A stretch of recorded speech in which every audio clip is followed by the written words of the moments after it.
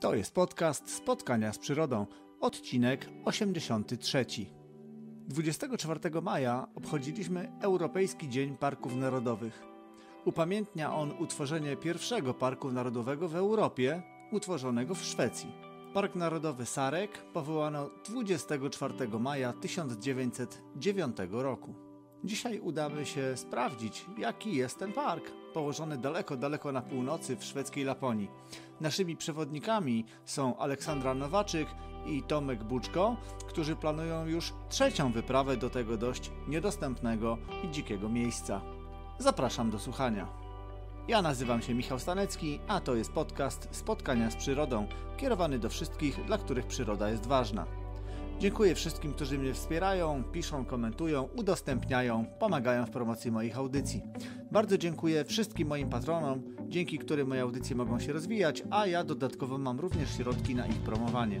Dziękuję za zaufanie i za to, że jesteście ze mną. Pamiętajcie, łączy nas przyroda.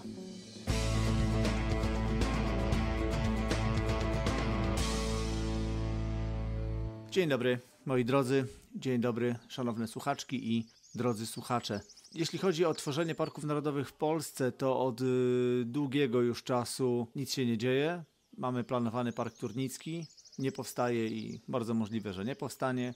Musiałoby się naprawdę dużo zmienić w podejściu władz do przyrody. To jest bardzo szeroka kwestia i nie chcę jej dzisiaj poruszać. Ale możemy porozmawiać o pewnym niesamowitym zakątku Europy, jeszcze dzikim, nadal dziewiczym, gdzie wyłącznie przyroda e, dyktuje warunki, gdzie przyroda decyduje o tym, jak ten kawałek świata wygląda. Jest to Park Narodowy Sarek, położony w szwedzkiej Laponii, najstarszy w Europie, drugi na świecie zaraz po Yellowstone.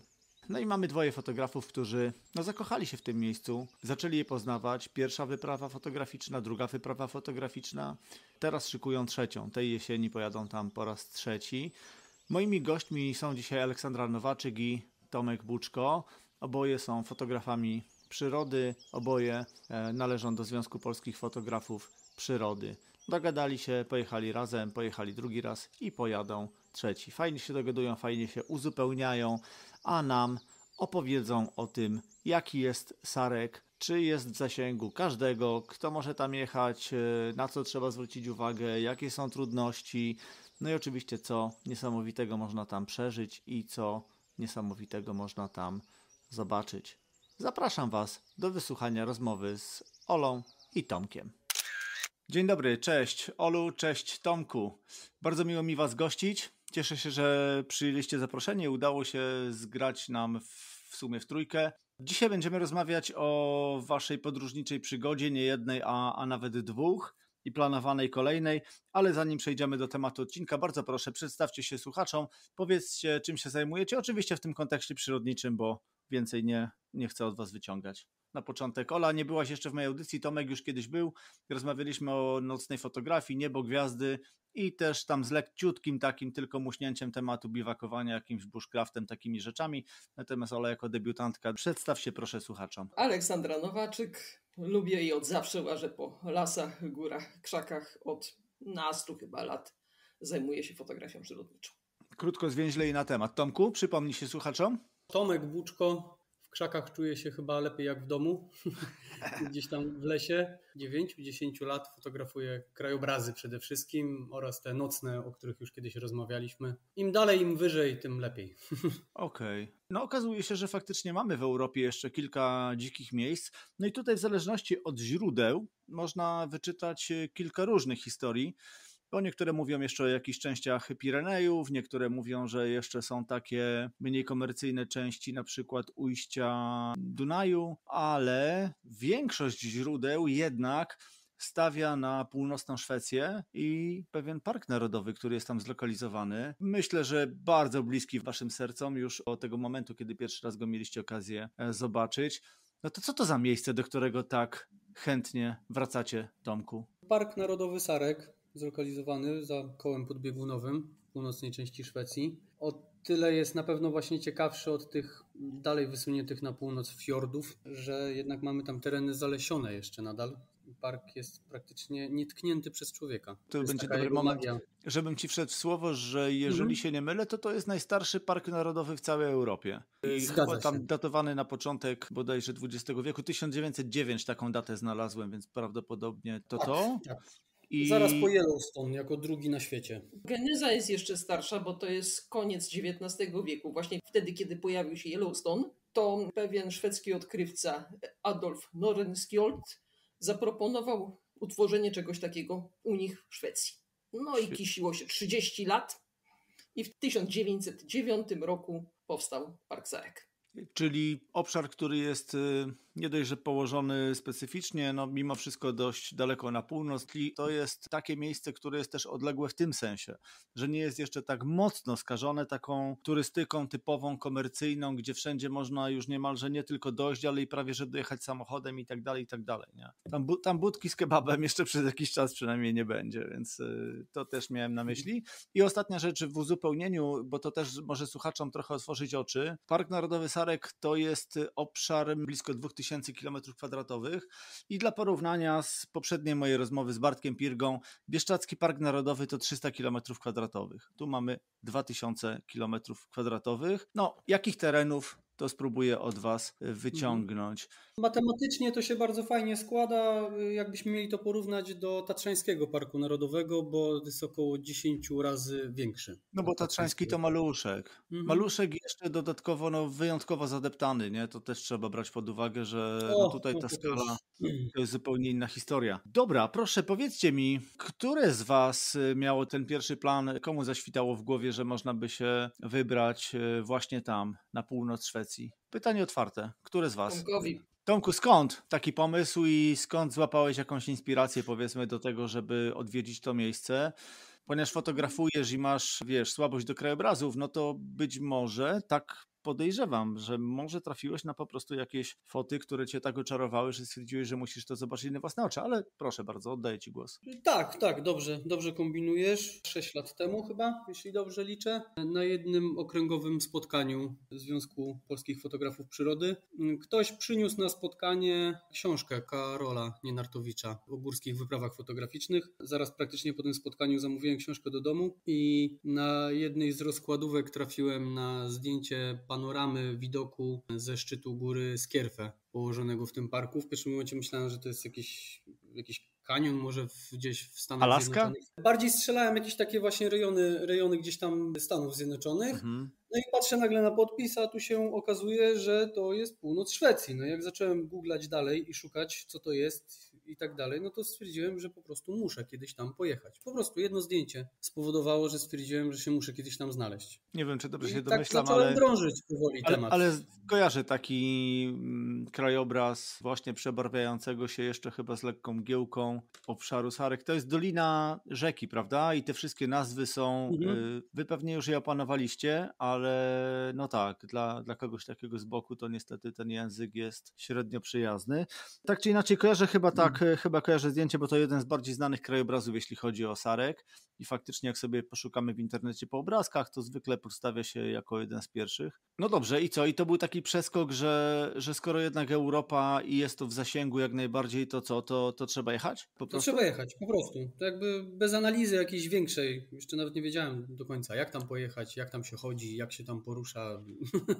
Decyzja, że jadę, jedziemy, ale potem pomyślimy jak. Dokładnie, dokładnie, na takiej zasadzie. A to była No, twoja pierwsza, pierwsza przygoda ze Skandynawią, czy miałeś już jakieś epizody? Tak. Nie, nie, moja pierwsza. To widzisz, to grubo.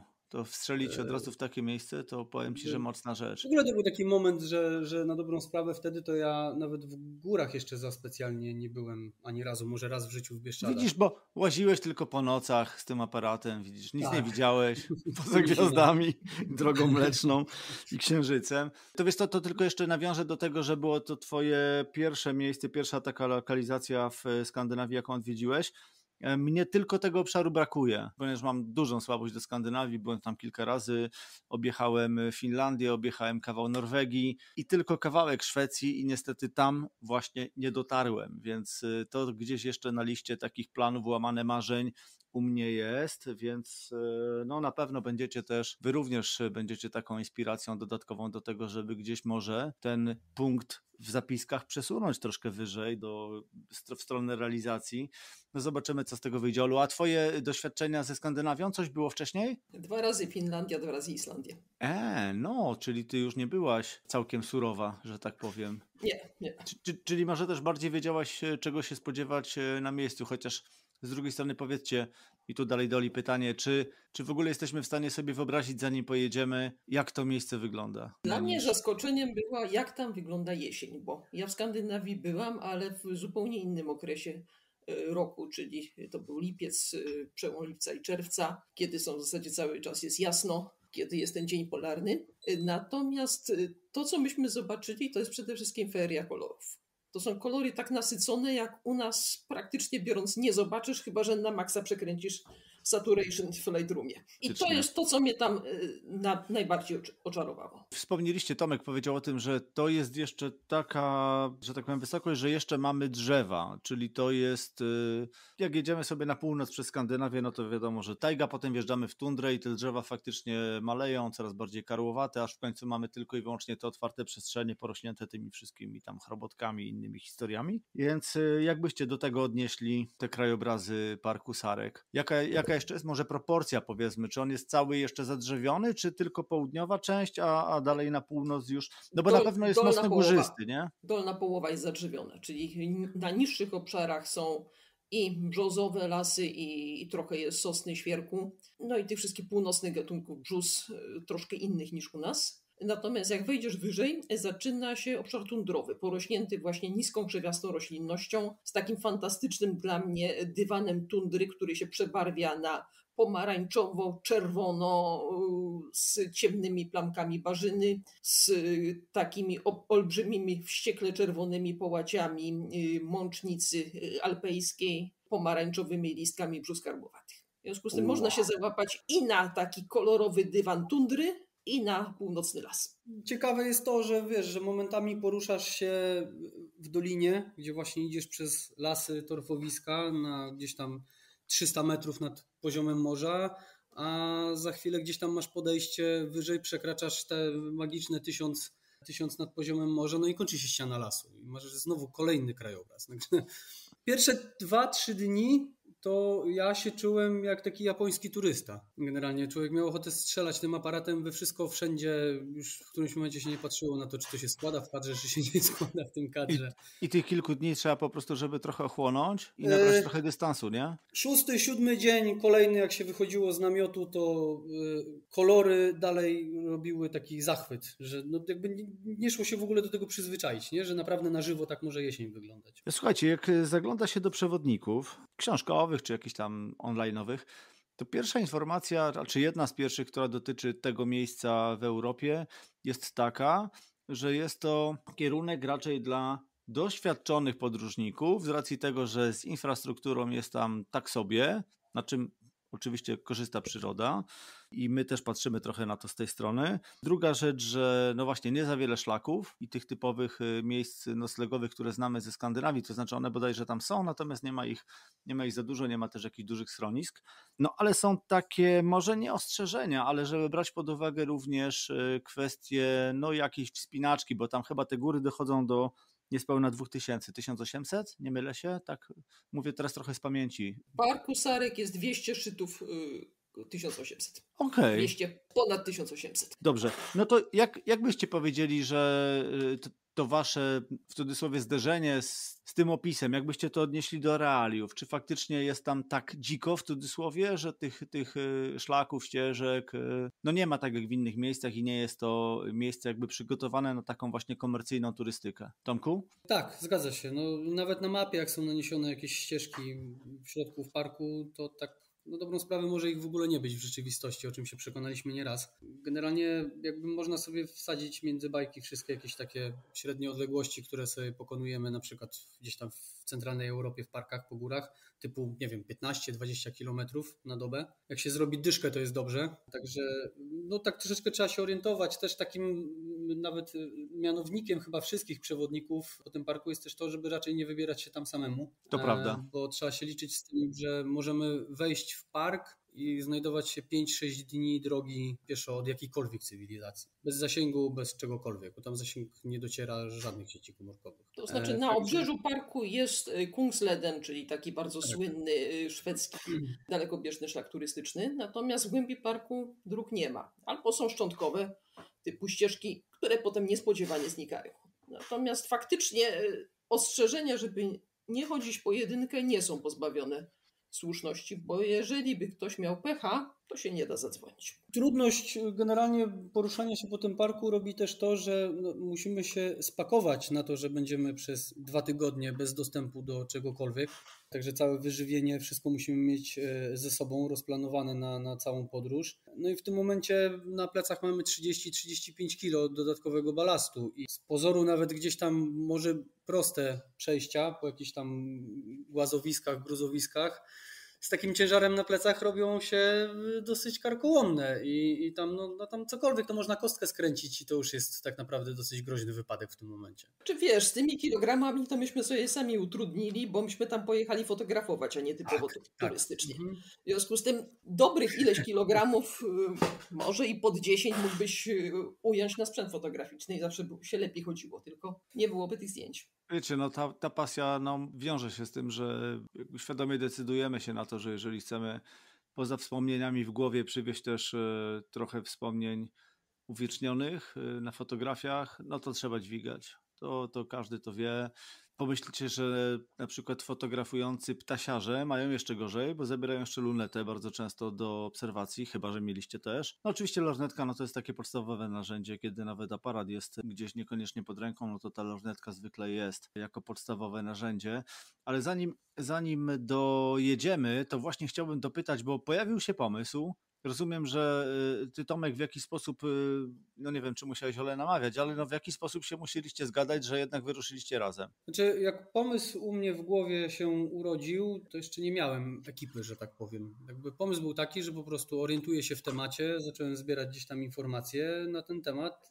Początkowo było tak, że po prostu pojadę tam sam. Na szczęście y, jestem członkiem ZPFP i przy okazji wizji natury w 2000 chyba to było 18 albo 19 Ola, popraw mnie? No ja powiem, że w ten sposób, że jak wiele rzeczy na tym świecie za tak. zaczęło się przy piwie.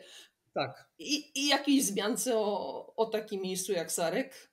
Właśnie w 2019 mieliśmy już potem wyznaczony termin y, wrzesień 2020, no i niestety przyszedł COVID i plany nam rozwalił. Nie odbierzcie tego jako wścibskość, ale przed tym Izabelinem nie zdaliście się osobiście? Nie. Znaliśmy nie, się. znaliśmy się. Z jednego pleneru tam pół roku wcześniej chyba jakoś w Bieszczadach się poznaliśmy. A okej, okay, rozumiem, na tej zasadzie. A potem, się, mhm. a potem się dogadaliście, że to jest kierunek, który no rozumiem, że oboje macie w planach. Czy ciebie, Ola, trzeba było przekonywać, jakoś mocno namawiać? Nie podejrzewam. Nie, mnie zawsze Skandynawia kusiła, po tych paru bytnościach oczarowała mnie, w związku z tym jest to kierunek, który mnie dalej bardzo mocno rajcuje i mam ochotę tam jeszcze wracać. To jakbyśmy tak e, spojrzeli na to historycznie, był już pomysł, dogadaliście się, że pojedziecie razem, czyli też spełnialiście ten warunek BHP, powiedzmy, tego, tego hmm. bezpieczeństwa, przynajmniej jakiejś asekuracji drugiej osoby.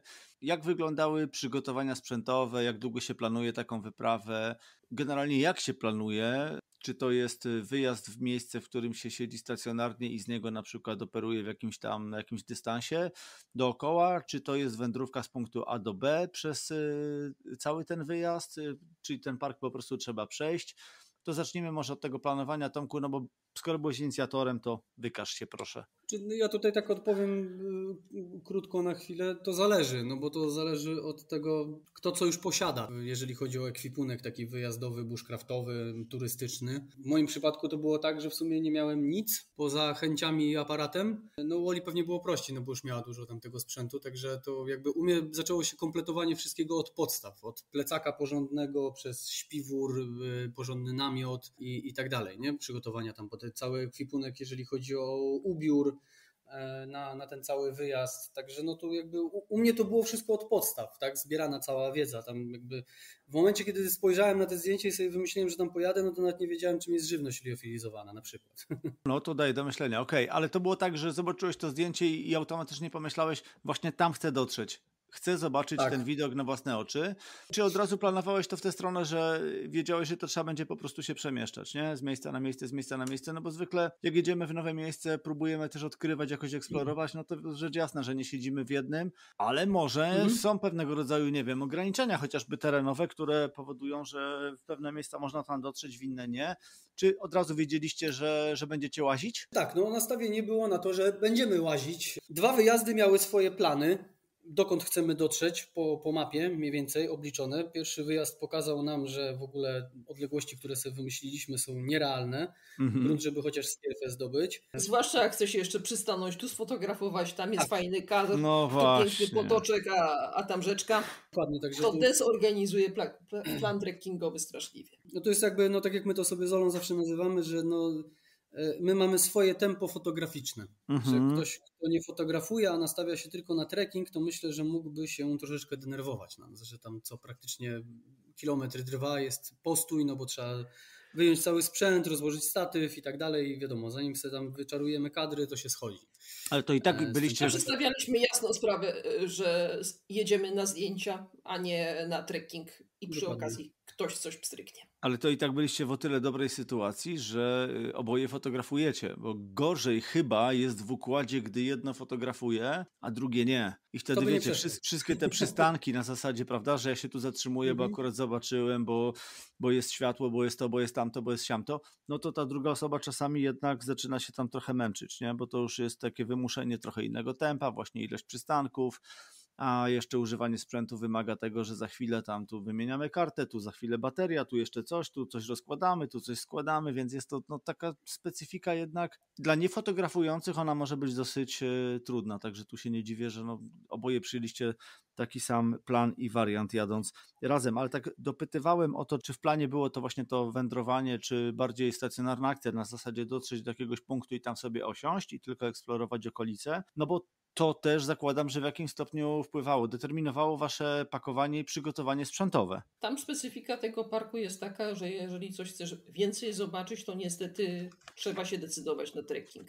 Mhm. Nie, ma, nie ma szansy y, chodząc w koło komina czy w koło samochodu dotrzeć w te naj, najbardziej atrakcyjne rejony. Że tam samo Skierfę jeszcze jest takie w miarę wydeptane, no bo tam częściowo się tym y, szlakiem Kungsleden do niego y, idzie, natomiast no wszystko co oprócz widoku ze Skierfę na tą dolinę Rapadalen jest atrakcyjnego w tym parku, to wszystko jest w środku, w centrum tego parku, gdzie już się idzie poza szlakami totalnie. Jakby no jeden i drugi wyjazd był u nas nastawiony na to, że codziennie zmieniamy lokalizację, no chyba, że mamy jakieś załamanie pogody i trzeba je przetrzymać. Czyli no, powiedzmy, że... No trzeba to mniej więcej zaplanować, no i trzeba mieć wtedy w głowie, jakby planując to wszystko, y, ile dni już się oddaliliśmy od parkingu, gdzie mamy samochód i ile dni potrzebujemy, żeby wrócić wtedy. To żeby uporządkować, to jeszcze dopytam od, od tej strony, byliście w podróży, y, jechaliście autem, wieźliście mhm. te wszystkie swoje graty, no i do pewnego miejsca można dojechać. Natomiast tam już trzeba się przepakować, w sensie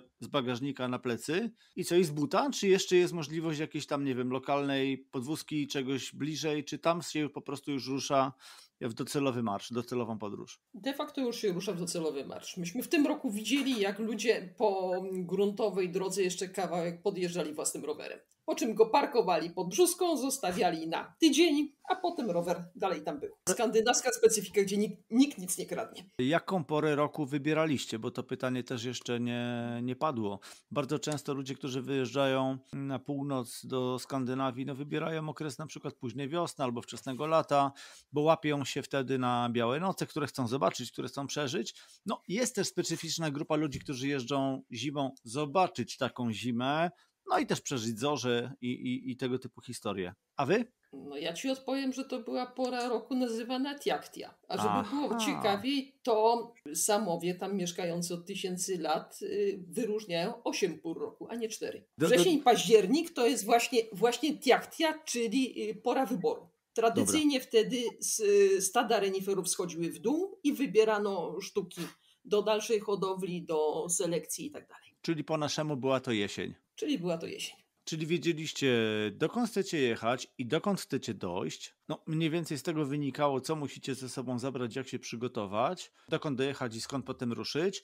Przygotowanie kondycyjne, bo to też gdzieś w przewodniku wyczytałem, że no może nie trzeba być jakimś ekspertem od wytrzymałościowych sportów czy, czy wspinaczki, no ale dobrze być y, tak ogólnie, że tak powiem, fizycznie ogarniętym, nie? Czyli, czyli taką w miarę kondycję mieć. To już wynikało z tego, co mówiliście, skoro 30 kilo na plecach i wędrówka przez te...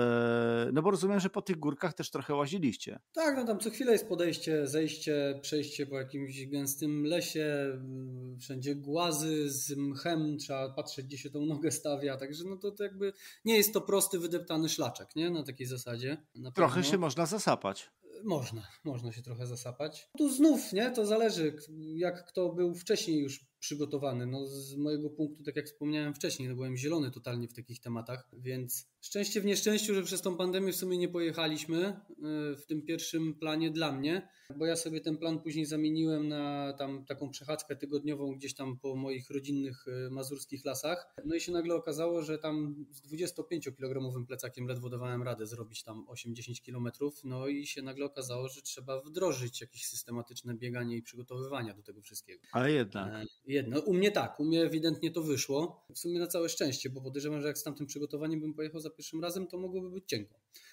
A wiemy, co się na co przekłada, prawda? Że jeżeli no gdzieś tam kondycyjnie nie będziemy wyrabiać, to już ten kolejny dzień, któryś tam kolejny dzień mhm. przyjdzie zmęczenie materiału, a to się przełoży na to, że po prostu będziemy mniej wydolni. Morale spadną przede wszystkim. Morale spadną, ale też równa się mniej zobaczymy, mniej przeżyjemy, no bo to, mhm. to jeżeli będzie decyzja na zasadzie, to dzisiaj robimy, nie wiem, odpoczynek i tak dalej, no to to zawsze będzie coś, coś za coś, a rzecz jasna, że kiedy jedzie się e, w takie fajne miejsca, no to staramy się zawsze ten czas jakoś tak optymalizować maksymalnie, nie? żeby jak najwięcej przeżyć, jak najwięcej zobaczyć. Ola, u Ciebie z kondycją? ok? Nie było aż takiego przygotowania, było bardziej na żywca, ale wystarczyło. Czyli byłaś zaprawiona w bojach. Dobra.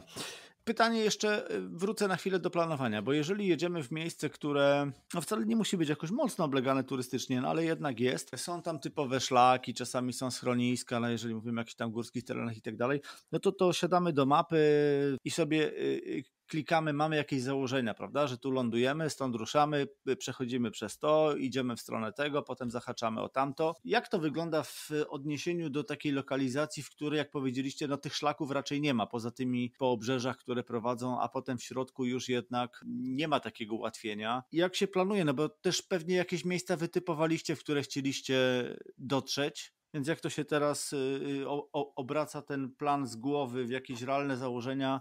Na razie bez względu na to, czy potem się je udało zrealizować, czy nie, ale samo to, żeby no jednak jakieś mhm. tam cele sobie przyjąć. Tamku, jak to wyglądało? Na całe szczęście y, trochę ludzi tam jeździ i, i gdzieś tam popularny się zrobił YouTube, więc dało się znaleźć różnego rodzaju jakieś tam wideorelacje ludzi, którzy tam byli. E, wiadomo, no pierwsze co, no to kupiliśmy mapę turystyczną tego parku.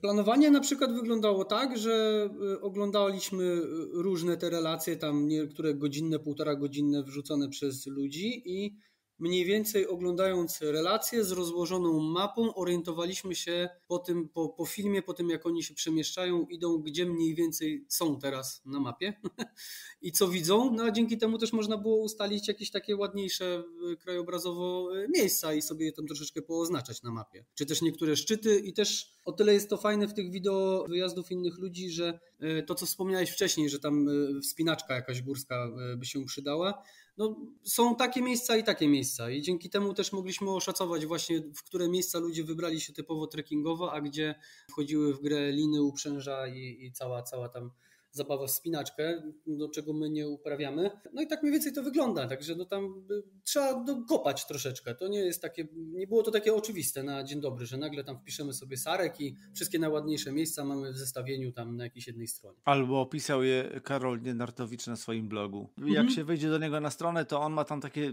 rankingi, zestawienia z tak, pewnymi tak. opisami, nie? Najbardziej atrakcyjne tam szlaki, 10 szlaków w Karkonoszach, nie wiem, gdzieś tam w. Mhm. I, I, i, dzięki, i, dzięki jego opisom też wiedzieliśmy, gdzie dojechać samochodem, gdzie go zostawić, skąd w ogóle ruszyć na szlak. Także no to bardzo pomocne było. Super, dobra. A ile mieliście czasu na, na całą operację? Znaczy, mhm. oba wyjazdy to były, każdy z nich dwutygodniowy, z tym, że no, odpada od tego czas dojazdu i powrotu, czyli było realnie około 11 dni w górach, za każdym razem. Dobra, powiedzcie mi, jakie są y, warunki pogodowe, no to nazwijmy to jesienią, czy początkiem jesieni w tamtym miejscu? To zależy jak trafisz i ile masz szczęścia, bo czasami potrafi być no te kilka stopni powyżej, może na kilkanaście to ja przesadzę, kilka stopni powyżej zera i piękne słońce, a w tym roku trafiliśmy, ile to było Tomek, cztery dni pod rząd tam lało? Cztery, prawie, prawie pięć, no. A, pamiętam, mieliście taką desperację, że nawet słuchaliście podcastu Spotkania z Przyrodą. Tak. Dobra, to musiało być ciężko. Okej, okay. dobrze, tak, ale no to jest... W tym roku pogoda dała w kość, bo pierwsze cztery dni lało okropnie, także generalnie no przemokło wszystko praktycznie, co, co mogło przemoknąć. Możemy zapomnieć o tym, że mamy membrany i nie wiadomo jak wodoodporne ciuchy. No ale dzięki temu później się pojawiło słoneczko i człowiek i zupełnie inaczej docenia nagle każdy przebłysk. No pewnie, świata. jasne. Ale czy rozumiem, że jesień, tamtą jesień można do tej naszej porównać, takiej bardziej może górskiej, trochę bardziej kapryśnej, jakiejś tam właśnie takiej znaczy, pogody, wiesz, nie? Mm, tam się już zdarzają wtedy też pierwsze opady śniegu. Mm, mhm. E, zdarzają się nocki, gdzie tam temperatura może spaść poniżej 10 stopni, szczególnie jak jesteśmy gdzieś tam wyżej, nad poziomem morza. Także taka jest y, zmienna trochę ta pogoda, nie? To jakby przez powiedzmy tam większość dni jest ta temperatura taka powiedzmy późno październikowa jak u nas, początek listopada, ale zdarza się, że da w kość, nie? Jakąś śnieżycą nagłą. W zeszłym roku mieliśmy tak, że jak wracaliśmy to była pięknie kolorowa tundra, nagle się zachmurzyło, zaczęło pruszyć śniegiem, i są krajobrazy takie, e, pastelowa tundra tak przypruszona jak e, cukrem pudrem. I po niej łażą renifery. Możemy sobie to wyobrazić, tak. E, no, zdaje się, że tam od pewnego momentu to te renifery faktycznie są, są dosyć często obecne. To w innych częściach Skandynawii też mogłem się o tym przekonać to zapytam jeszcze o taką kwestię jak y, gatunki zwierząt, które spotykaliście, czy które generalnie tam żyją, które chcieliście być może zobaczyć, sfotografować. Jak to wyglądało od tej strony? No bo krajobrazy, ja wiem, że krajobrazy lubicie i krajobrazy są wam bliskie, ale, ale no mimo wszystko wiemy, że ta przyroda ożywiona w Skandynawii też jest dla fotografów dość przyjazna, bo zwierzęta nie boją się tak bardzo jak u nas, czy też ptaki się nie boją tak bardzo jak u nas, y, już wyszczególniając, i zawsze też jest to jakiś tam dodatkowy bonus tej naszej północy Europy. Y, jak to wygląda tam w Szwecji? To znaczy, jeżeli chodzi o ptaki, no to trzeba brać poprawkę na to, że myśmy byli jesienią. W związku z tym wszystkie ptaki przelotne praktycznie biorąc już się wybrały albo wybierały na południe, więc to, co można było zobaczyć, było znacznie mniejsza rozmaitość ptaków, których tam teoretycznie jest około 140 gatunków, a w praktyce wszystkie przelotne już y, skończyły lęki. Fajnie nam pozowały do obiektywu parwy górskie, zresztą było któregoś wieczoru słychać ich głos bardzo charakterystyczny, taki hmm, diaboliczny chichot tuż koło namiotu. Natomiast yy, spotykaliśmy łabędzie krzykliwe, troszkę północnych gatunków sikor, dzięciołów. Natomiast na przykład charakterystycznych dla tego obszaru siewek złotych o tej porze roku już nie ma.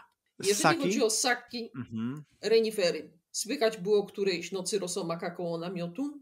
Yy, widzieliśmy i mamy zdjęcia dużego pnia sosny znakowanego przez niedźwiedzia. To znaczy y, cała kora tak do wysokości 2,5 metra chyba obdrapana pazurami przez y, niedźwiedzia. Samego niedźwiedzia nie spotkaliśmy. Aha, okej, okay, a powiedzcie mi jeszcze y, łosie? Czy też tam się szwędają, czy, czy nie? Szwędają się i to są podobno największe łosie w Europie, jeżeli chodzi o gabaryt tuszy, rozpiętość poroża. Natomiast to, co mieliśmy y, przyjemność widzieć, to w zasadzie wyłącznie z góry. To znaczy, siedząc tam na y, wysokiej górskiej skarpie, można było wypatrzyć malutkie y, sylwetki na dole na torfowiskach. Z bliska nam nie poszczęściło. Jakbym miał Was zapytać, ja wiem, że to nie będzie łatwe pytanie, ale zwłaszcza jak pojechaliście tam pierwszy raz, no bo to wtedy by było wszystko nowe i, i to było takie doświadczenie, to znaczy może nie wszystko w sensie Skandynawii, ale specyfiki tego miejsca. Czy jesteście w stanie powiedzieć, co sprawiło, że przeżyliście takie momenty, wiecie, uniesienia, kiedy się staje się mówi, wow, no to jest po prostu moc, moc przyrody, niesamowita sprawa. Tomku, czy ty pamiętasz, y, jak pojechałeś pierwszy raz, co ciebie tam najbardziej urzekło? To na pewno kolory, jesienne, o których już tam Ola też mówiła wcześniej, bo one po prostu powalają y, swoją intensywnością i nasyceniem. Ciężko się w ogóle do nich przyzwyczaić. Przez pierwsze tam 6-7 dni wychodzi się codziennie z namiotu i one dalej zapierają dech. Natomiast to, co jest też świetne w tym parku, no to właśnie ta jego dzikość i, i to, że on jest jednak trudno dostępny i tych turystów jest tam zdecydowanie o wiele mniej, jak gdzieś w jakiejś środkowej Europie, tam po 4-5 dniach spotyka się pierwszego piechura, za dwa dni znowu jakąś ekipę dwóch, trzech osób tylko, także tak jest tam coś takiego, że można się w pełni nasycić tym, że przebywa się w tym terenie i ma się go tak w sumie tylko dla siebie i jest się też w nim zdanym tylko na siebie i na niego. Ciężko, ciężko to opisać, to trzeba po prostu pojechać i poczuć.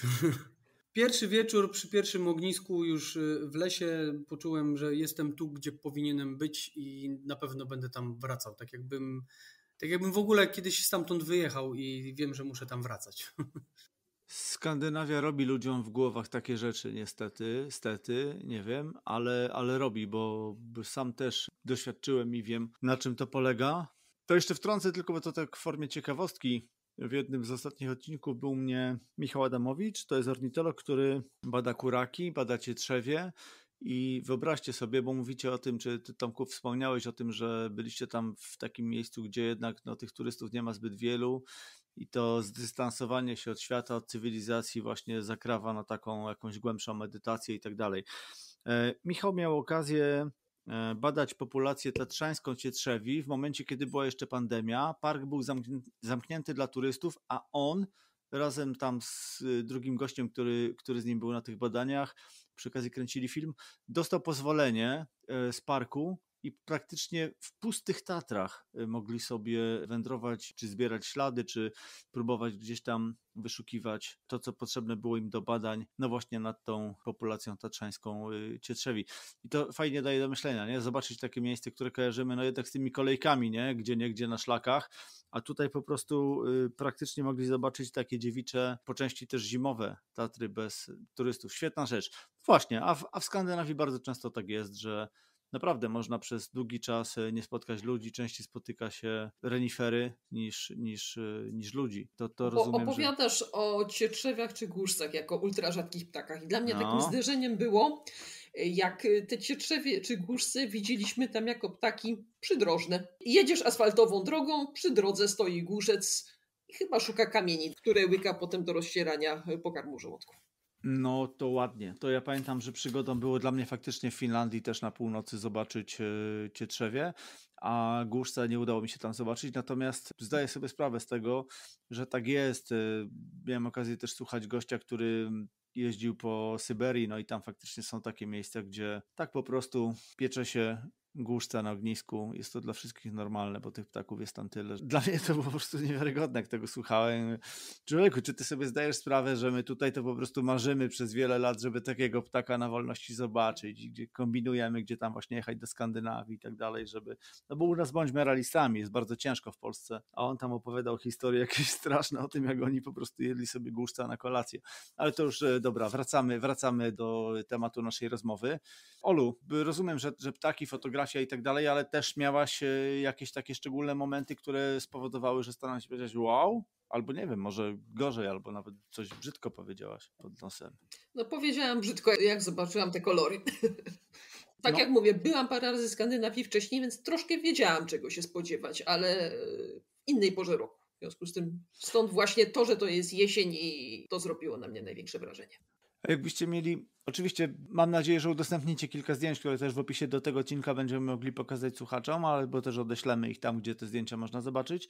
Gdybyście mogli w kilku słowach powiedzieć o tym, jak wygląda taki marsz w tej części Europy, a potem sobie z, z, sprawdzimy, jak w realu to wygląda na fotografiach, ale z punktu widzenia właśnie takiej, takiej osoby, która jest w marszu, nie? Która, która tam idzie, jak to, jak to wygląda? Olu, może spróbuj narysować tak naprawdę to zależy, gdzie trafisz, bo są miejsca wysoko w górach. Tak jak wyszliście. Gdzie idzie się prawie równo, y, natomiast potem trafiasz na rumowisko skalne i tak naprawdę zaczyna być skakanie z kamienia na kamień y, z tym całym 20-30 kilogramowym bagażem na plecach.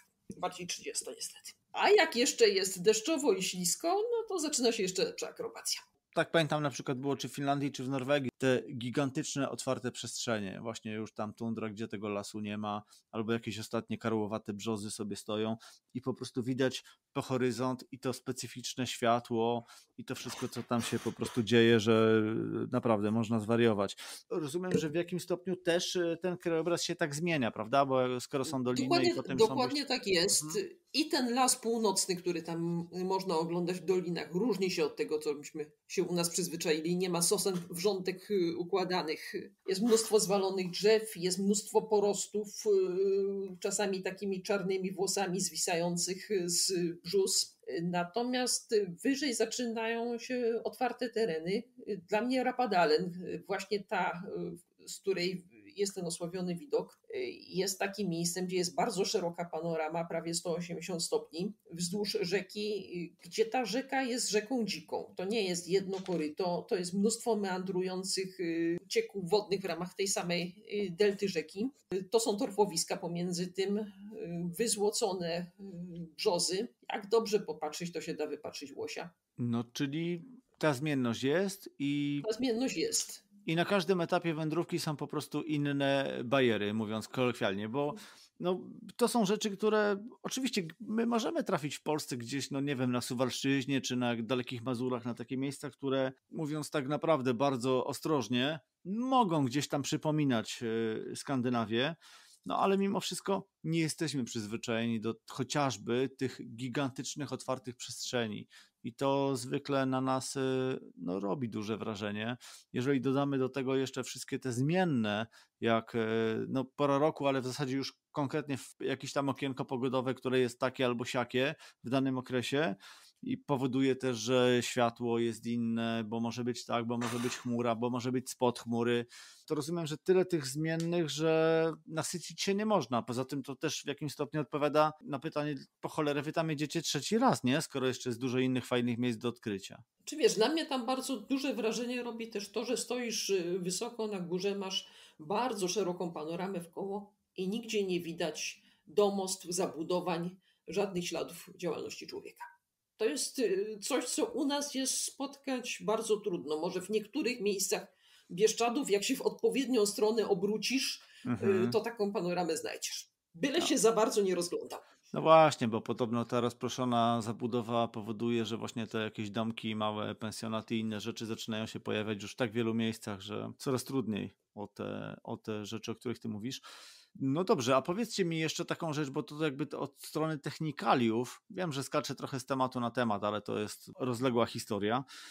Przyszło mi do głowy kwestie sprzętowe, no bo skoro byliście tak oczarowani, Tomek też o tym powiedział, że w zasadzie przez pierwsze dni, no to ten aparat cały czas i, i fotografowanie na dużych obrotach. Jaki jest dorobek fotograficzny z takiej wyprawy? Jak byście to mogli określić w tych, zakładam, tysiącach zdjęć, które zostały wykonane? Tomku?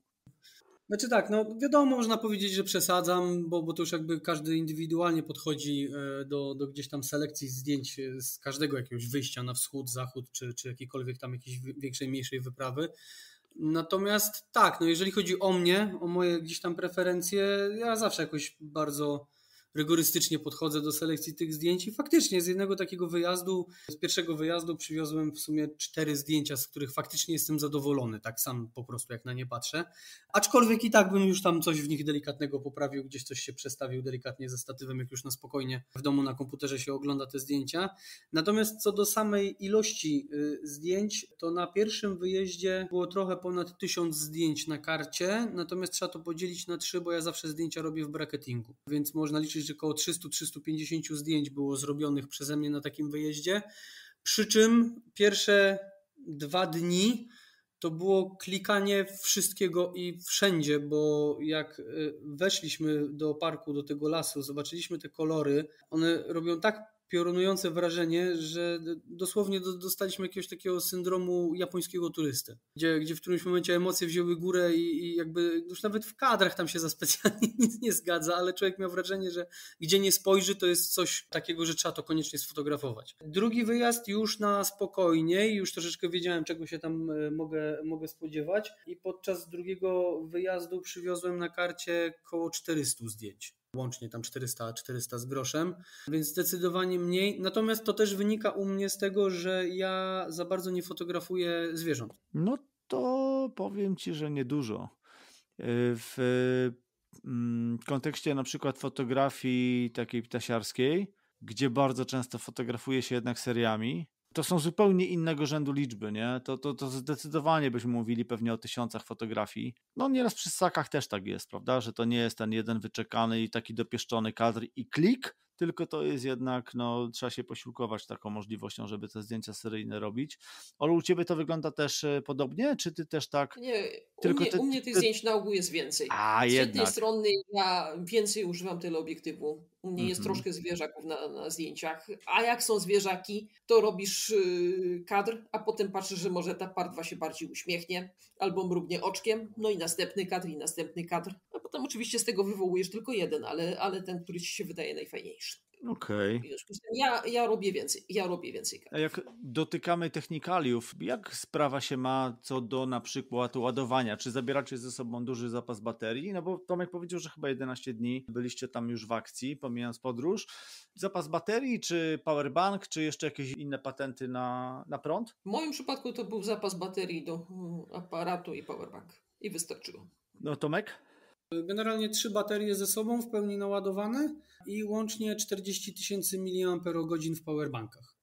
Mniej więcej było, spokojnie starczyło, zostało jeszcze tego prądu. Dodatkowo awaryjnie, e, aczkolwiek przy pierwszym i drugim wyjeździe w ogóle nie użyłem. Mam też taką małą ładowarkę solarną, którą można na przykład na plecaku rozłożyć i, i gdzieś tam w ciągu dnia, jeżeli trochę świeci słońce, e, łapać ten prąd i doładowywać sobie te powerbanki, ale na szczęście nie było potrzebne. Czy w e, trakcie robiliście jakiś backup? Zabezpieczaliście swoje zdjęcia? Zgrywaliście jeszcze dodatkowo gdzieś? Czy tylko karta szła w odstawkę, wkładaliście nową i tyle? Na kartach pojedynczych po prostu. No, jakby, no trzeba wziąć te ryzyko na siebie, że się nic nie wydarzy. No dbać o ten sprzęt, uważać mimo wszystko. A słuchajcie, a jeżeli chodzi o sprzęt fotograficzny, czy, no bo przy krajobrazach bardzo często wchodzą w grę jeszcze na przykład y, różnego rodzaju filtry. Czy dopieszczaliście te fotografie od razu na tamtym etapie w ten sposób, czy być może te krajobrazy były na tyle już czarujące, że nie trzeba było takich dodatkowych technicznych operacji y, wdrażać? Jak to wyglądało, Olu? To znaczy, ja powiedzmy tak, mam troszkę zdjęć jakichś potoków robionych z mocnymi filtrami szarymi, natomiast filtrów takich. Y, Czyli jak mówi moja żona, zro zrobiłaś watę z wody. Zrobiłam watę. Zrobiłaś watę. Natomiast filtrów połówkowych nie mam, w związku z tym w tym momencie był bracketing i, i obróbka potem na komputerze. Tomku? Ja akurat nie, no tam jedynie przy niektórych obiektywach y, filtr polaryzacyjny wchodzi w grę, natomiast takich tych typowo połówkowych, e, e, prostokątnych, jakichś tam szarych i tak dalej nie, nie mam w ogóle na razie jeszcze u siebie w ekwipunku, więc, więc sobie tam radzę właśnie tym między innymi, że robię zdjęcia w bracketingu i później tam je ze sobą łączę na, i wyciągam to co najlepsze z każdego. A, no i polaryzacyjny, ale to już jest powiedzmy aha, aha. U, mnie, u mnie standard. Mhm. A jakaś fotografia nocna wchodziła w grę? Były warunki? Do, no, do Tomka pytanie, tak. Na północy można trafić tą zorzę polarną. Wiadomo, że zimą jest jej więcej, natomiast e, we wrześniu już jest równo noc, więc e, występuje noc, kiedy, kiedy ta zorza może nam wystąpić. Podczas pierwszego wyjazdu zorzy nie trafiliśmy. No niestety z racji też takiej, żeby gdzieś tam odciążyć ten cały plecak, e, no nie zdecydowałem się na zabranie zestawu paralaktycznego, bo to jednak jest tam dodatkowe około 3 kg w plecaku i dodatkowa przestrzeń. Natomiast y, nie było akurat warunków. Pierwszy, pierwszy, podczas pierwszego wyjazdu nie widzieliśmy za bardzo gwiazd przez praktycznie całe dwa tygodnie. Niestety cały czas to niebo było zachmurzone. E, podczas drugiego wyjazdu trafiliśmy zorzę polarną jednej nocy, ale pech chciał, że trafiliśmy na nią w momencie, kiedy po bardzo ciężkim e, zejściu do doliny noc nas zastała w totalnych krzakach, e, gdzie już po GPS-ie nawet było widać, że zaczynamy troszeczkę błądzić e, w tym lesie, więc niestety awaryjnie gdzieś tam przy strumieniu jakimś zaczęliśmy w pociemku rozkładać namioty i tworzyć jakieś obozowisko na szybko. No i w ten jeden dzień po tej mordęce przebijania się przez ten las i te moczary, siedząc koło 23 przy ognisku, nagle patrzymy do góry, nad nami zaczyna tańczyć, tańczyć zorza polarna. Polecam na żywo coś pięknego zobaczyć, natomiast nie mamy ani jednego zdjęcia. No właśnie, o, o to chciałem zapytać, czy się trafiła? Trafiła się, była piękna, całe, całe niebo szalało i nie dało się żadnego sensownego kadru poskładać. Ale można było sobie przeżyć. Można sobie, można sobie było przeżyć i warto było. A czy wy jako fotografujący zgodzicie się z taką tezą, że no jednak patrzenie przez pryzmat aparatu troszkę okrada nas z części emocji? Że jest to jednak pewne specyficzne patrzenie na rzeczywistość, bo nie przeżywamy w pełni tego, w czym się nagle znaleźliśmy czy znajdujemy, tylko jednak nawet jeśli mamy doświadczenie i nawet jeśli naprawdę ten aparat tam bardzo intuicyjnie jakoś obsługujemy, to jednak wymaga to jakiejś odrobiny skupienia również właśnie na tych e, stronach technicznych e, fotografii. Jak, jak wy do tego podchodzicie, Tomku? Jak sobie z tym radzisz? Ja chyba mam tak, że w trakcie fotografowania, mimo że jestem skupiony na tym, żeby znaleźć ten kadr, analizować to wszystko, co się dzieje na aparacie i tak dalej, ja i tak mimo wszystko to przeżywam i oglądam, bo też nie jest tak, że cały czas stoimy przy tym aparacie. E, oczywiście to światło się co chwilę zmienia, e, szczególnie jeżeli jakieś chmury najdą, mają tam jakieś prześwity i to punktowo zaczyna gdzieś nam w jakąś dolinę e, doświetlać. Natomiast też no, ile można z drugiej strony. No, no robimy ileś tych zdjęć, w różnym świetle danej scenerii. Raz, że między zdjęciami są jakieś przerwy, kiedy na spokojnie można postać sobie, popatrzeć na to wszystko i pooglądać, a z drugiej strony w którymś momencie jest tak, że no, wysycimy daną miejscówkę. Słońce wzejdzie też wyżej, e, nie daje już tego światła super, które chcielibyśmy tam łapać. W tym momencie można aparat wyłączyć i sobie usiąść na karimacie, zaparzyć kawę i na spokojnie nasycić się tym wszystkim jeszcze. Znaczy, w którymś momencie to wyglądało, że jedynym zdjęciem, które stamtąd przywieziemy, było bardzo hałowe zdjęcie z mojego telefonu komórkowego, zrobione na pamiątkę pierwszego wieczoru.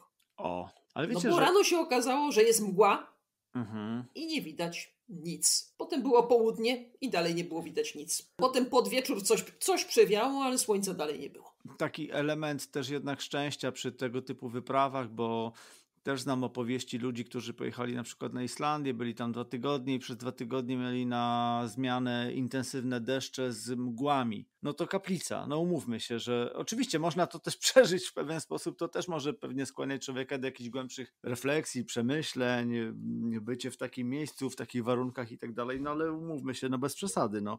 Chcę, jedziemy po to, żeby, żeby zobaczyć i również przeżyć, ale jednak zobaczyć i przeżyć, czy sfotografować, przeżyć, zobaczyć i tak dalej, no więc faktycznie ten element jakiegoś tam powiedzmy szczęścia, że ta aura dopisze też jest y, jak najbardziej istotny biorąc pod uwagę to, że to jest wyjazd, który się zwykle planuje troszkę wcześniej i planuje się go w miarę na sztywno. Czy to też nie jest tak, że wy możecie sobie pewnie pozwolić na czekamy, aż pojawią się optymalne warunki, tym bardziej, że no, nie zawsze możemy to tak dokładnie aż i precyzyjnie przewidzieć. Olu, czy ciebie nachodziły takie momenty, no bardzo często przyrodnicy, pasjonaci mówią o takich chwilach, kiedy stajesz przed jakimś właśnie widokiem, który robi ci gdzieś tam i w głowie, i w sercu, y, potrafi ci namieszać, zrobi ci dobrze i myślisz sobie wtedy, że faktycznie jest tutaj nad nami jakaś taka tajemnicza siła, która to wszystko zrobiła były takie głębokie jakieś e, historie, które się gdzieś tam dotykały? Na pewno był głęboki zachwyt i, i chęć powrotu, która gdzieś tu jest we mnie głęboko. Czy aż tak mistycznie, jak opowiedziałeś? Chyba nie. Tomku, a ty? Nie wiem, czy to była, po... nie wiem, czy to była poprawna odpowiedź. W tym parku jest tak, że te chwile masz codziennie. Tam jest generalnie tak, że przekraczasz, nie wiem, ko kolejną, kolejną jakąś grań, przechodzisz kawałek dalej, otwiera ci się następny krajobraz i on znowu robi wow. Ten cały krajobraz y, tego, tej północy, tego parku, tam na każdym kroku robi coś takiego, że mówimy wow, kurczę i teraz znowu trzeba ściągać ten plecak, rozstawiać statyw, robić zdjęcia, no bo nie odpuścisz, nie? jeżeli jedziesz na, na zdjęcia tam. Na pewno y, wielkim takim wow było y, dotarcie na Skierfę po raz pierwszy i zobaczenie tego na żywo, tej całej takiej 180 stopni rozpiętości y, tej całej doliny Rapadalen i, i rzeki w tej dolinie, no, no to, to robi ogromne wrażenie. Tam stanęliśmy, jak pierwszy raz dotarliśmy, zbiliśmy piątkę z Olą, że udało się nam dotrzeć i, i na dobrą sprawę po prostu oglądaliśmy to wszystko. Stwierdziliśmy, że dzisiaj nawet nie robimy zdjęć, na spokojnie rozbijemy namioty, zostajemy tu jeszcze trzy dni pod szczytem, więc zdążymy. I, i możesz no. powiedzieć, że jak na no, wiele tych takich krajobrazowych miejscówek, w których już zdarzyło ci się być, widzieć je i fotografować, no to to miejsce faktycznie jest jakby zupełnie innej półki? Naprawdę to robi wrażenie. Tam to jest ciężko opisać. No może każdy sobie wpisać w Google, tak, i poszukać zdjęć e, widoku e, robionych e, przez ludzi tam, a to komórkami w ciągu dnia, a to gdzieś tam lepszym trochę sprzętem o fajniejszej godzinie i w różnych porach roku. I mimo wszystko, że przed wyjazdem, gdzie przygotowywałem się do niego 4 lata, dobre, do pierwszego, naoglądałem się mnóstwo zdjęć ze Skierfę, szukając gdzieś tam informacji w ogóle o tym, o tym całym regionie i o tym, jak tam się dostać to mimo wszystko na żywo po prostu powala. To trzeba to przeżyć. No ciężko jest nawet opisać. Wchodzi się na ten szczyt i, i to robi naprawdę wow. Nogi się robią miękkie, nawet jak ktoś nie ma lęku wysokości, to nabiera szacunku w ogóle do tego wszystkiego. A czy byście mogli powiedzieć, jak wygląda taki przykładowy dzień wyjęty z e, właśnie życia wędrowców gdzieś na, na północy tej Skandynawii, w takim miejscu, powiedzmy w cudzysłowie, miejscu odosobnienia. No, mam na myśli ten kontekst cywilizacyjny, że jednak bardziej możemy tam e, poczuć to, że to, co ludzkie, to zostawiamy gdzieś za sobą, a, a tu jesteśmy jednak zdani wyłącznie na, na przyrodę, na naturę. Tomku, jak, jak byś mógł w kilku słowach, że od momentu, kiedy faktycznie budzicie się, biwakujecie i, i, i jak, jak taki przykładowy dzień może wyglądać? Jak miałbym to streścić do jakichś takich punktów logistycznych, on może tak, jakichś takich organizacyjnych, no to tak, no pobudka na wschód. Miejmy nadzieję, że ten wschód jest, że go nie zabrali, że, mhm. że jakieś chmury nie naszły, nie zrobiła się gęsta mgła, bo to też się zdarzało. Więc zerwanie na wschód, yy, gdzieś tam oddanie się temu fotografowaniu tej całej scenerii o wschodzie. Następnie szybkie, szybka jakaś kawa, śniadanie, herbata, pakowanie tego plecaka na nowo, bo to praktycznie dzień w dzień trzeba wszystko wyciągnąć z tego plecaka, z powrotem do niego zapakować, ale to się nabiera wprawy. Spakowanie całego obozowiska, namiotu, całość na plecy i idziemy dalej, no bo tam gdzieś tam plan jest mniej więcej zawsze ustalony, wiadomo gdzie chcemy dotrzeć i w którą stronę idziemy. No i gdzieś tam w ciągu dnia no mamy tak, że idziemy i nie pędzimy, o może w ten sposób. Jeżeli trafia się coś ciekawego do fotografowania, to robimy pauzę i po prostu fotografujemy. To o tyle fajnie, że jesteśmy tak właśnie z Olą dogadani, że że, że każdy to rozumie, że jak ktoś coś widzi, to drugi wcale nie musi czegoś widzieć do sfotografowania, a, ale sobie na spokojnie jeden na drugiego, jedno na drugiego czeka. Codziennie mieliśmy ustalone, że tak około godziny 19, e, czyli na takie dwie, dwie z groszem godziny przed e, zachodem słońca, już szukamy odpowiedniego miejsca pod, pod biwak na noc. Raz, żeby, żeby się nie spinać po nocy, gdzieś tam nie rozbijać tego obozowiska, e, a dwa, żeby też mieć czas po rozłożeniu namiotów jeszcze, żeby ewentualnie złapać trochę tego zachodzącego słońca. Wieczorem znów jakieś jedzenie, obiad, kolacja, trochę posiedzieć przy ognisku, po, pogaworzyć, albo i nie, posiedzieć sobie w ciszy, podumać i spać. Generalnie po całym dniu z tym ciężkim plecakiem człowiek wieczorem już jest zmęczony, to oczywiście same zamykają, jak to słońce zajdzie. I od rana znów dalej. Podobny scenariusz. A to miejsce biwaku? Czasem w dolinach rzek, jak podczas trekkingu jest jeszcze dodatkowe urozmaicenie albo przedzieranie się przez bagnisko, albo przez potoki brud. A, no właśnie, bo to, to zawsze musimy brać pod uwagę, jeżeli idziemy po typowym wytyczonym szlaku, no to takie niespodzianki też będą budować tą naszą przy, przygodę, tak? Można powiedzieć w ten sposób. Czy te miejsca biwaków mniej więcej mieliście zaplanowane? Wiedzieliście, że są miejsca, nie wiem, które sprzyjają? Czy to wynikało tylko i wyłącznie z warunków danego dnia i tego, ile udało wam się po prostu przejść? Miejsca biwaków były raczej, spo, no raczej spontaniczne, po prostu żeśmy szukali, gdzie jest miejsce, które się nadaje, gdzie jest woda blisko i w miarę płasko. A co tobie, Olu, sprawiło tam największą trudność podczas wyjazdu jednego czy drugiego? Teraz to mi zabiłeś Nie było, było gładko. Znaczy nie, no nie gładko. Ty, tylko gładko tylko kolorowo. Na pewno nie było tylko gładko i na pewno nie było tylko kolorowo.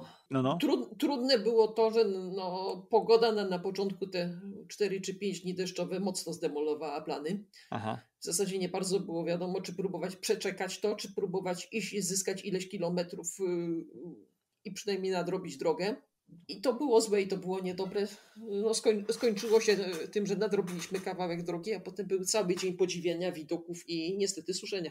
Być może jakieś fragmenty w cudzysłowie szlaku, bo niekoniecznie tego wytyczonego, ale tego, którym się które obraliście, którą się przemieszczaliście, że były faktycznie jakieś momenty, w których na przykład było więcej błota, jakieś bardziej bagienne, w których szło się ciężko, czy faktycznie jakieś momenty, jak to w górach, no może nawet nie tyle wejść, co zejść, gdzie, gdzie właśnie po deszczu, po błocie, po, po śliskim, czy z tego typu typowymi górskimi na przykład uciążliwościami też się tam y, zderzamy. No pewnie jest nie inaczej niż, niż u nas w górach, nie? Znaczy jest inaczej. W tym roku bardzo trudny był odcinek szlaku, jak żeśmy schodzili z y, wysokiej partii górskiej w Dolinę Rapadalen, bo w tym momencie schodziliśmy praktycznie biorąc bez ścieżek na, na dziko i to po obszarach podmokłych. W związku z tym były odcinki, kiedy to tu ci noga grzęźnie po kostkę w błocie, wyciągasz, zahaczył się kijek, następny krok, y, plecak się zahaczył o krzaki, y, następne ileś metrów przez jałowce,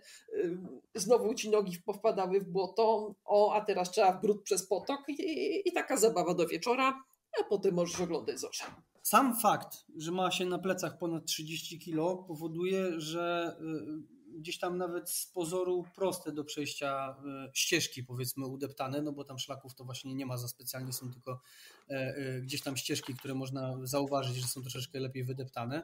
Z pozoru takie dosyć łatwe czasami do przejścia ścieżki z tym plecakiem nagle stają się czasami dość kar karkołomne, żeby je tam przejść po jakichś tam śliskich kamieniach, głazach, gdzie noga może się zsunąć w szczelinę w każdej chwili. Natomiast Trudne na pewno były momentami, było momentami przedzieranie się na przełaj, no bo mieliśmy tam kilka takich punktów, gdzie na przełaj przechodziliśmy z y, gdzieś tam wysokości koło 1000 y, nad poziomem morza do y, doliny do rzeki, która jest tam na 300-320 i tam musieliśmy się przedrzeć przez jakieś 3 czy 4 kilometry na przełaj przez, najpierw, najpierw zejść po dość stromym zboczu takim kamienistym z tymi plecakami, a później się przedrzeć przez dosyć gęsty las, który praktycznie cały jest w torfowiskach, bagniskach, także no, momentami było tak, że powyżej kolan się cały czas szło w błocie, w bagnie, w trawach.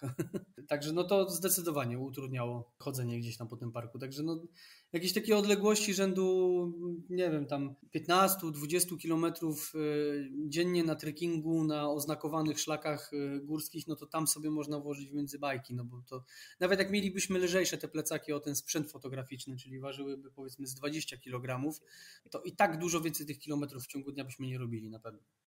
Co was tak bardzo, ja wiem, że to pytanie już w pewnym sensie padło, ale co was tak bardzo urzekło w tym akurat skrawku Skandynawii, że nie planujecie odwiedzać innych, eksplorować nowych miejsc, y, być może też odludnych, być może też równie spektakularnych krajobrazowo, potencjale fotograficznym ogromnym. Jedziecie trzeci raz w to samo miejsce. Proszę. Tak naprawdę przez te dwa wyjazdy i łącznie jakieś 25-6 dni łącznie spędzone bezpośrednio w terenie w, w parku, zwiedziliśmy może z 15% powierzchni tego parku i tego, co ma do zaoferowania. Także e, wiemy, co jeszcze oferuje już gdzieś tam po tych naszych wszystkich researchach, wiemy, co jeszcze oferuje dodatkowo ten park w głębi.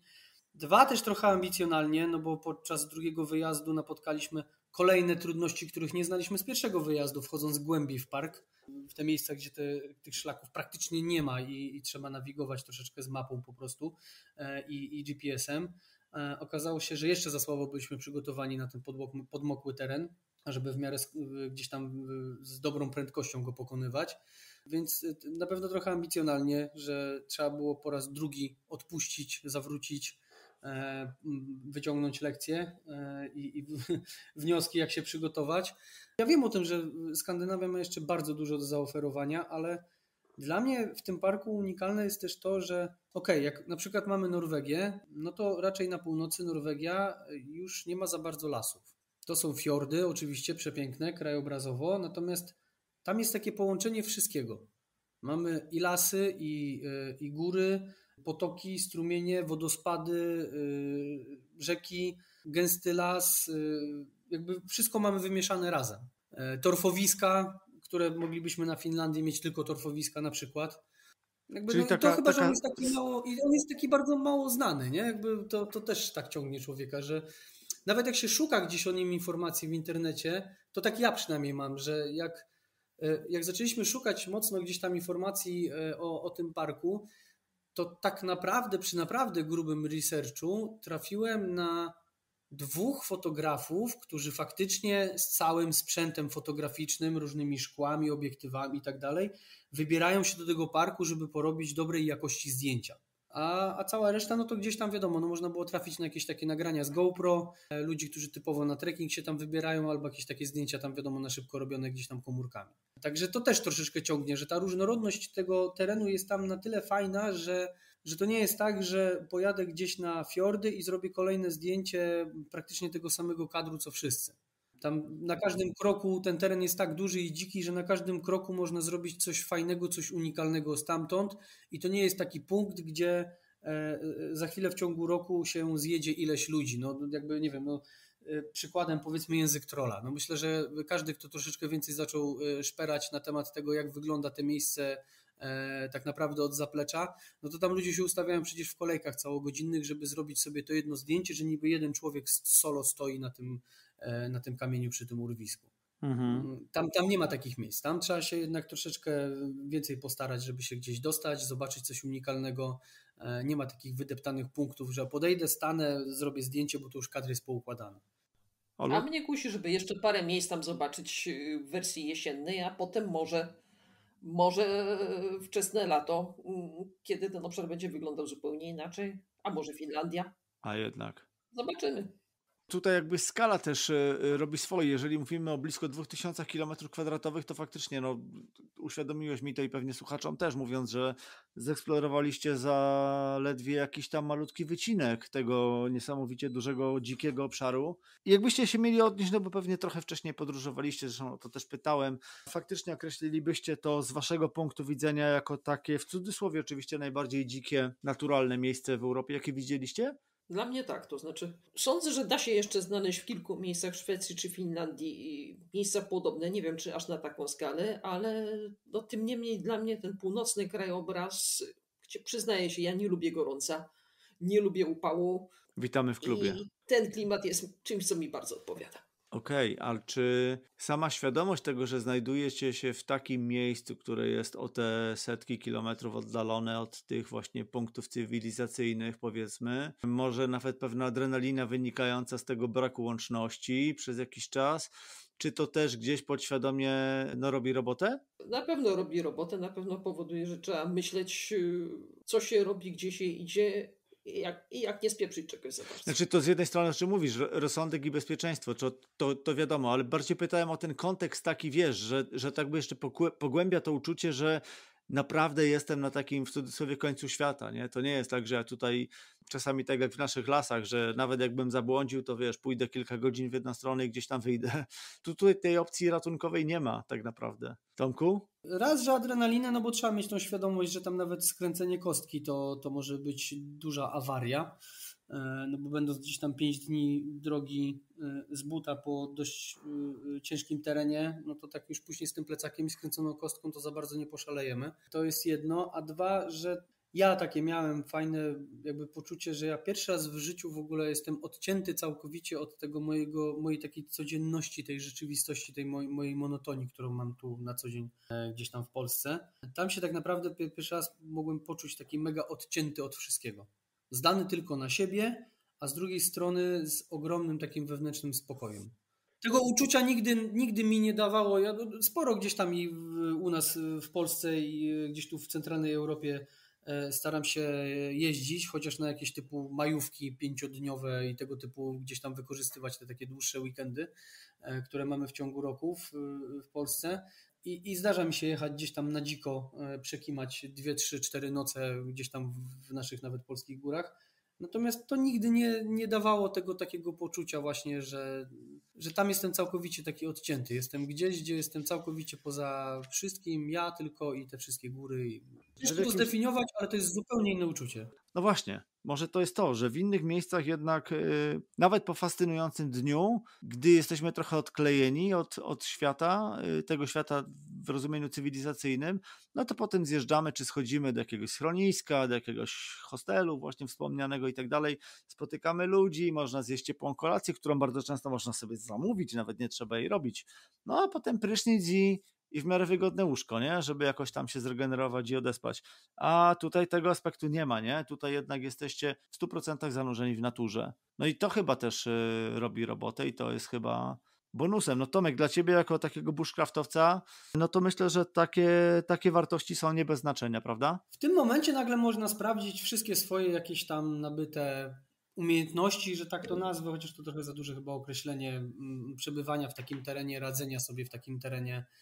Idąc nawet u nas gdzieś na nizinach, do lasu, na przykład na, nie wiem, weekend, dwie jakieś nocki, mamy tą świadomość jednak, że jesteśmy w takim miejscu, że nawet jakbyśmy się zakręcili i nagle stwierdzili, że chyba się nie odnajdujemy w terenie i straciliśmy orientację, no to tak naprawdę wystarczy iść w jakimkolwiek kierunku z 2, 3, 4 kilometry i w końcu i tak dotrzemy do jakiejś wioski, do jakiejś ulicy, do, do, do czegokolwiek.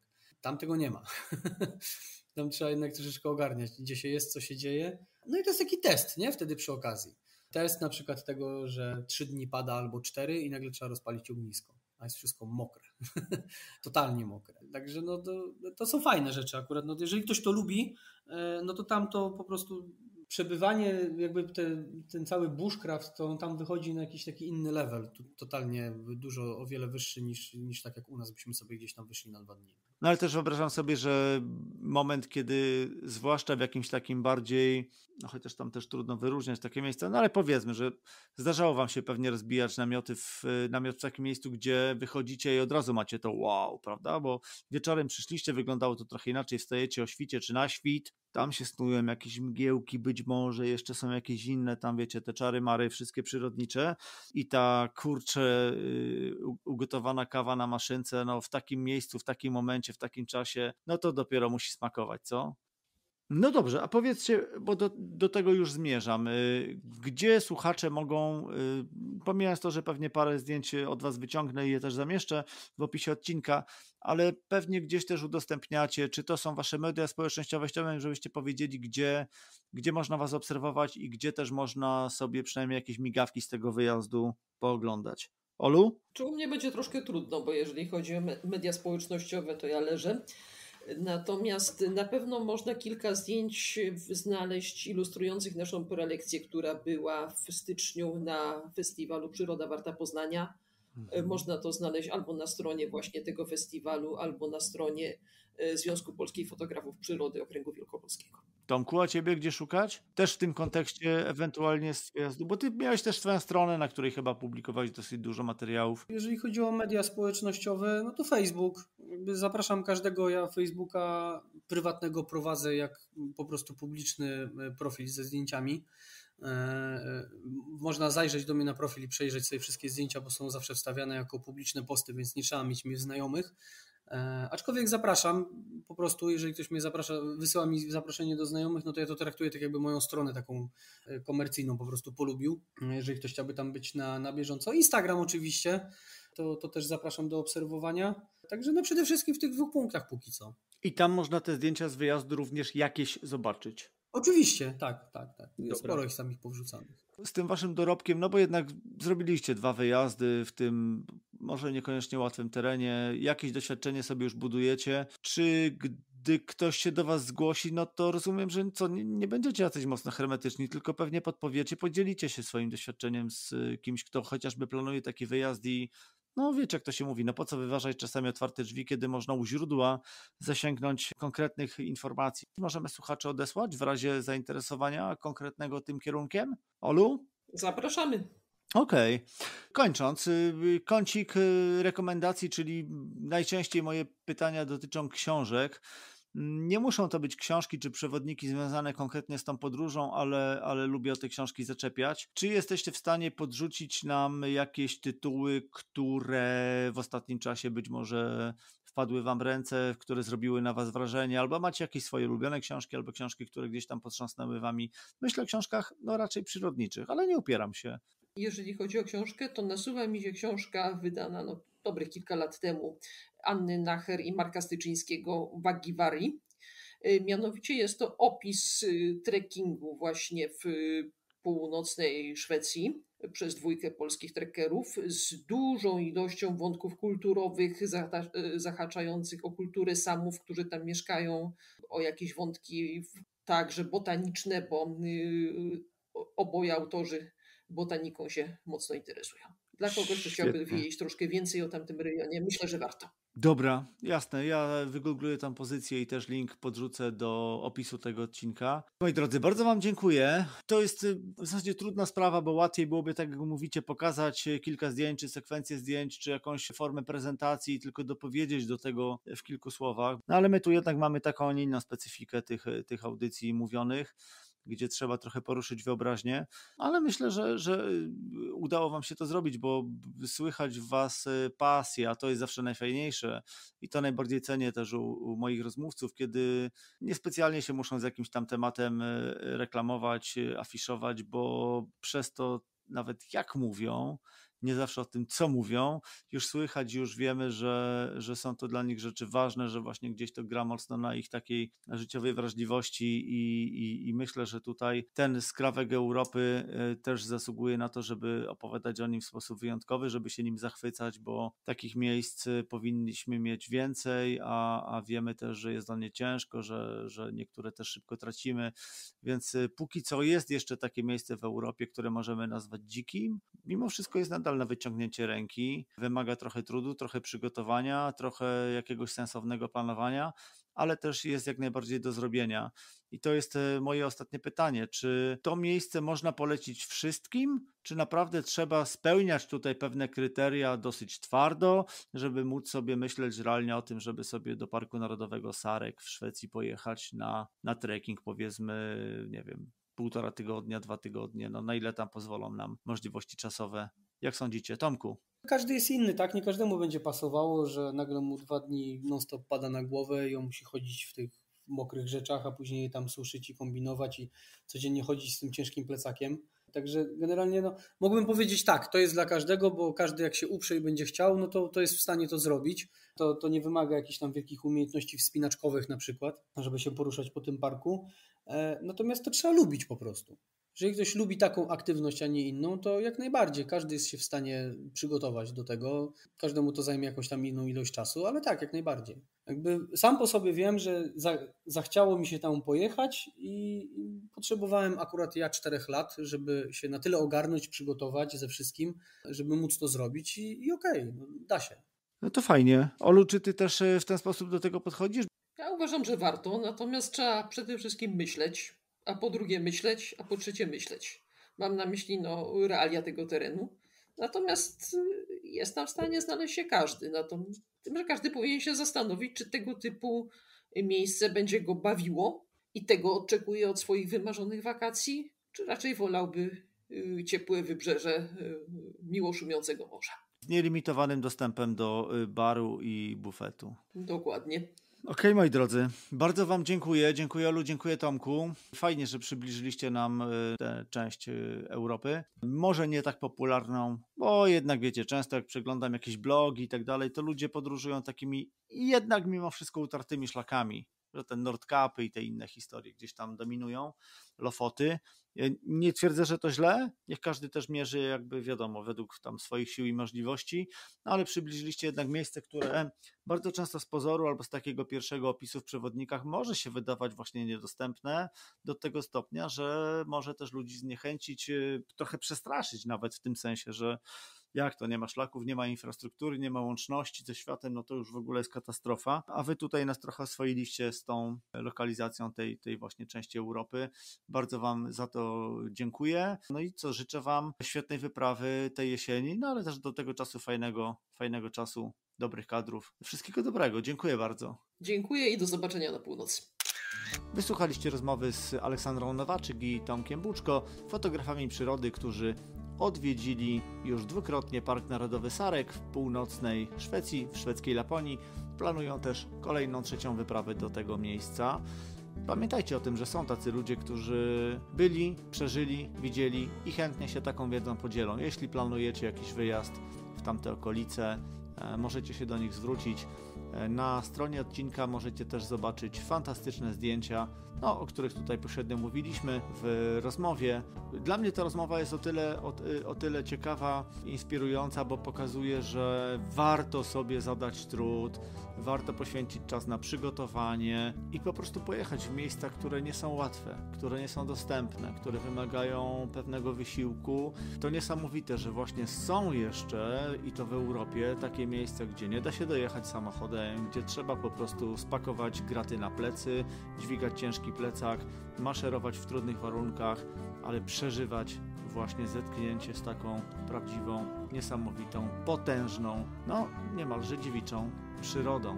To miejsce dla podróżników, zapaleńców, fotografów, którzy są w stanie e, podjąć trud e, i, i w ogóle zmierzyć się z tego typu wyzwaniem. No dobrze, to była długa rozmowa, to był kolejny długi odcinek, więc na dzisiaj kończymy. Bardzo Wam dziękuję, że słuchacie mojego podcastu, że wysłuchaliście tego odcinka. Zdjęcia, jakieś notatki do tego, do tego odcinka znajdziecie na stronie michalstaneski.com ukośnik 083. Na dzisiaj to wszystko. Raz jeszcze Wam dziękuję. Pamiętajcie, łączy nas przyroda. Do usłyszenia. Cześć!